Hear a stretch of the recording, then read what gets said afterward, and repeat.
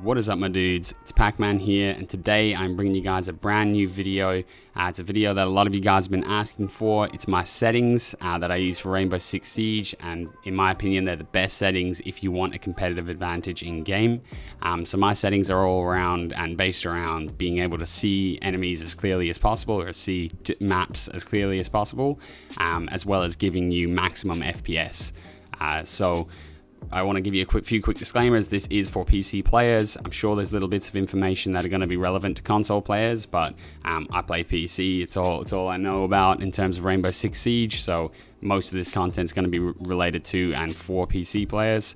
Um, secondly, I'm not an expert in you know graphics and game design and optimal performance of computers, but in the end of the day, I do know Siege like the back of my hand and um, I know what's going to give you the most FPS, the most bang for your buck, and what's going to give you the clearest image.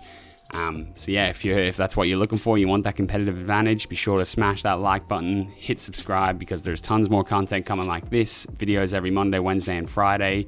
Uh, but with that being said, let's uh, let's get straight into it. Okay, so starting off with general, uh, we'll begin with squad privacy. I'll leave this on invite only. I've quite a lot of friends on Siege. I don't really want them to be able to just jump into my party whenever they feel like it. Uh, you can play on open to friends if you want. Um, it's completely up to you. Most people open to friends is going to be perfectly fine. I play on invite only. Uh, this is a new setting anyway. Matchmaking preferences, you want to turn off hostage and secure area. Just trust me when I say don't bother playing with these ones if you want to take Siege seriously and uh, play competitively or just improve. Just play bomb and stick to just bomb. Um, it's the pro rule set. Uh, so in terms of T-Hunt, I leave elimination and protect hostage on. Uh, sometimes I have this turned off. Um, it's just, all it really does is just give you access to the defender guns. So if you just want to change it up and play with, um, yeah, any of the guns the defenders have, you can leave it on. Uh, at the moment I'm playing with it on, but you can turn it off whenever you feel. Um, I would recommend turning off every map except house. Um, basically, house is the smallest map. Um, and T-Hunt should be used for warming up your shot and training your aim, so you don't really want to bother like running around. You want to kind of get as much uh, aim training in as possible, so I'd recommend turning off everything except house. Um, interface preference, um, I'm not sure what if this is specifically what the pros still use. I don't think it is. Um, like I don't think they have things like the grenade indicator. This is basically a balance of between uh, pro and um, yeah, I still want to have a little bit of an advantage in rank to be completely honest with you. But um, I have my scoring off. I'm used to that now. I don't show my teammate's name and I have my hit confirmation off. Uh, so it's still quite minimal, but I still get quite a lot. I'm not sure if anyone knows. Let me know if this is the same. Like, do, do pros still get grenade indicator? I can't really remember. You can easily just play with this normal if you want to see points and you get uh, notified when you down someone and stuff. I'm just used to playing on uh, on this now or playing without the points. Um, so yeah, basically uh, that one's up to you. Just choose whatever suits you best. Doesn't really matter. Um, I'll leave my ping on, I'll leave my game info on, uh, cycle inside camera groups off. Uh, I just like it the way it was. You don't really need to know what it is. If you want to try it out, it just gives you kind of faster access if there's multiple different types of cameras available to you. Um, I like it the, the classic way, so just off for me. Uh, drone after prep is on semi-automatic for me. Um, I don't really bring my drones into danger at the beginning of prep phase or during prep phase in general anyway. Uh, but if I ever get caught in a situation, I just want to have control. So uh, yeah, so I'm just going to leave it on semi-automatic. I'd recommend you do that too. PC chat channel, I leave it on all. Sometimes I have it on disabled if I if I'm sick of the world and I don't want to uh, speak to people. But um, for the most part, I'll leave it on all.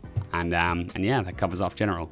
Okay guys, so for audio, I'm going to really quickly go through these. Don't really matter too much. Um, so we've got English, English off, uh, master volume at 100, music volume at 2. I don't really like the music. You can leave that one on 100 if you want. Uh, dialogue volume at 100. Um, dynamic range is on Hi-Fi, voice chat volume on 100, mute on unfocused on. Just basically means that when I alt tab out of um, Siege, I get to, it doesn't play the sound in the background. I prefer it that way. Um, voice chat record mode, I play push to talk. You can put it on open if you'd like to. Um, and then my record level and my record threshold 50 uh, just to keep me nice and smooth. So uh, yeah, that's the audio. So now we're starting to get down to the juicy stuff. We're in display. Um, so for display, I basically play on resolution 1920 by 1080, 1080p. Um, display mode, I play full screen. That's the best for um, for frames. Um, my refresh rate's 240 hertz because I have a 240 hertz monitor. You set that according to your monitor. Um, if you have a 60 hertz monitor and you're playing PC, I would definitely, definitely consider upgrading to a to a 140 hertz monitor, 144 hertz. Um, yeah, you're just going to see a massive improvement. I wouldn't be playing 60 frames on PC. Uh, is what it is. Um, aspect ratio, I play 16.9, which is default. I did used to play on um, 5.3, but not too long ago I switched back to 16.9. I don't really like changing up my aspect ratio and things like that too much. Uh, I kind of like just playing with what I've got at that time. And um, yeah, so like 16.9 works for me now. Um, I, will probably never move off this again. This again is preference, aspect ratio, and like you know sensitivity, which I'll go into in, in a minute. It's very personal. You find what works best for you. I'd recommend sticking with the most common ones: 16.9, uh, 4.3, 16.10. So uh, try flicking between them, find one you like, and stick with it. Um, VSync I have off, widescreen letterbox off, and field of view 82. Um, default here is 60. I definitely wouldn't recommend playing 60. Um, some of you guys might find a little bit more comfortable if you come from games like uh, like COD, um, but at the end of the day, you do want the peripheral vision. Um, keep in mind, the higher up you go in terms of your field of view, the smaller the targets will become, the more zoomed out, and the smaller your crosshair, sorry, your um, yeah, your like your reflex sight, your sight on your gun will become. Um, kind of gets a little bit harder to track, but just get used to it. 82 is a nice little um, nice little medium for me. It allows me to keep my peripheral vision strong um, while still being able to shoot pretty accurately. So yeah, 82 is what I play. Again, it's preference. Try a few out, see which one you like, stick with it. So onto the juicy stuff, uh, the graphic settings. Um, this is going to be the most dependent on your PC. Uh, again, I have a pretty strong PC myself, so I can kind of do what I want with it and still keep my frames pretty high. But I'll try and make note um, of which ones you should have lower if you if you do have a little bit of a weaker PC. But, um, but let's just go through with what I've got. Um, so texture quality, I have that on medium. Um, texture filtering, I have that on 16x. If you have um, if you have a weaker PC, I would probably wouldn't play 16x. It'll probably cost you um, a decent amount of frames. Try going down to eight or four. I wouldn't go any lower than four personally, um, but that one's on you. LOD quality, I would definitely have this as high as you possibly can. Um, this will basically affect the way that um, like kind of you, you you view models. So you want the head to be nice and round so that you can shoot the hitbox. Um, I, that's that's probably not exactly how it works, but I just definitely know try get this as high as possible um, without affecting your frames too much. Like I said, I have a pretty strong PC, so I get this. Uh, I put I play it on ultra. Um, shading quality low. Uh, yeah, just don't don't bother with this. It doesn't really add anything to the game. It just costs you frames, so just play it on low. Shadow quality mediums. You don't want to go all the way down to low here. Uh, basically, if you go all the way down to low, you won't see any enemy shadows, and you know that's a disadvantage. That's not an advantage. So medium doesn't cost you too much frames. You still get to see shadows, so win-win.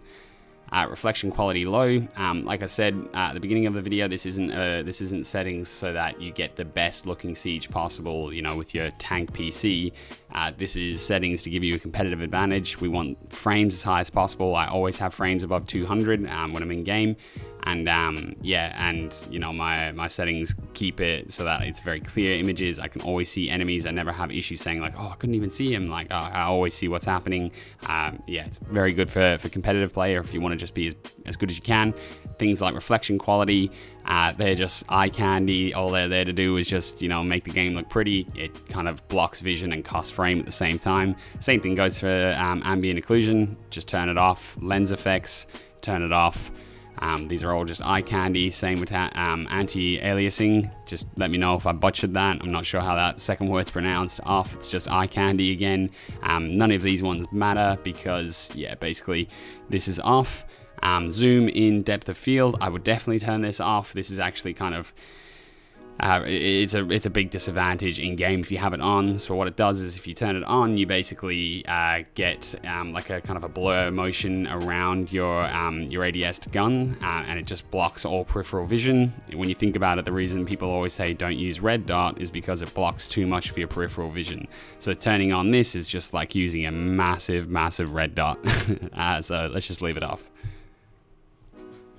Okay, finally, we're moving on to controls. Um, again, this is all going to be very uh, heavily my personal settings. Um, you can copy these, feel free. Uh, you probably won't like them, but have a crack if you'd like. I, I, this is what I use, it's what I'm comfortable with. Um, you might find some some benefits of, of certain things from here, uh, but you know your sensitivity that you like to play on is going to depend on how big your, your desk is, you know, and how much mouse room you've got, and uh, really just personal preference. So yeah, I won't go into that too much more, but this is just my personal settings here. Um, so raw input, uh, I leave that on off. Um, I just don't really like it. I feel like it kind of lags out my mouse a little bit. I might be wrong there, but I didn't like it when I had it on, so I just leave it off. Uh, mouse look conversion disabled. Um, my horizontal and vertical, I like to keep them the same uh, as my up, my up kind of um, uh, sensitivity and my side sensitivity. I like them to be the exact same thing. Um, 7.7. My ADS uh, sensitivity is 35. I play with a 400 DPI mouse. So obviously, if you play 1200 DPI and you put these settings in, you're still not going to you're not going to be feeling the same thing I'm feeling. I play low DPI or relatively low DPI on my mouse, and uh, still relatively low. Uh, I, I like low sensitivity, and I like using my arm as much as possible. Um, mouse scroll enabled. Um, I'm a I'm a bad person, I know, but I use the mouse scroll to get my, my pistol out. Bad habit, but it's what I do. It is what it is. Uh, gadget deployment advanced. You want to put this on advanced for sure. Um, drone deployment, you want to put this on advanced for sure. Aim, uh, you want it on hold. You never want to like be, you know, click to toggle. Like uh, it's not CS, we're playing Siege. It's also what I'm used to, so you know you might like it um, lean. So I want um, this on toggle personally. Some one of my best mates, um, who's a sick player, plays on hold. I, I, know a few people that play hold. I prefer toggle. It's what I learnt on, and yeah, I, I just I've tried hold a few times, and it's disgusting for me. So uh, you know, sorry if I've just um, offended a few of you guys with some of these settings, but I like toggle. It's what I play. Sprint hold. Um, this is non-negotiable. Please do not play um, toggle sprint. Uh, put that on hold. Crouch is toggle prone is toggle, and uh, where are we? Sorry, prone is toggle. Um, walk is hold. Uh, this is preference. I don't mind holding it. I just I want to be able to get out of my um, my walk as soon as possible and not have to mess with so many things. But yeah, I play on um, I play on hold there as well. If you want, I, I can go through some of these. If you want, I'll just kind of leave the screen open as we go through. I play pretty standard, to be completely honest with you. Um, the only thing is my, uh, basically my my melee attack is on my mouse uh, one button, and my uh, secondary gadgets, so my nades or my flashbangs, are on mouse five. I also use three sometimes, just whatever feels comfortable at the time. Mainly mouse five. Um, keybinds again, they're not going to give you any competitive advantage. Really, it's uh, it's very much preference. I would I'd say you can copy these if you want, but again, just find your own uh, keybinds that kind of suit your hand size and just what feels comfortable. It's not going to give you a uh, you know, like a, a, competitive advantage either way, as far as I know, anyway. So just find what's comfortable and, and use them. We're not going to go into controller options because, yeah, don't use controller. So there you have it, my dudes. Those are my personal setting for Rainbow Six Siege, and uh, in my opinion, they're the best settings, and uh, that's the kind of general consensus in the competitive community. Uh, but be sure to let me know if you think I've got something um, something wrong in there. If you think I can get more frames, or if you think I can get a clearer image, be sure to be sure to leave a comment down below. Inform me. Um, I will also be leaving links in the description to some of the forums that I used to get these settings um, back in the day. Uh, so if you want more a more in-depth look at the different settings and what they do specifically, check down below and you can find that. Um, there's going to be videos every Monday, Wednesday, and Friday, tutorial videos coming out. I really hope you guys are all keeping safe and doing well in these uh, in these crazy times. Uh, and be sure to let me know if you need anything. Um, but with that being said, guys, I hope you have a really good day, and I will see you on the next one. Peace.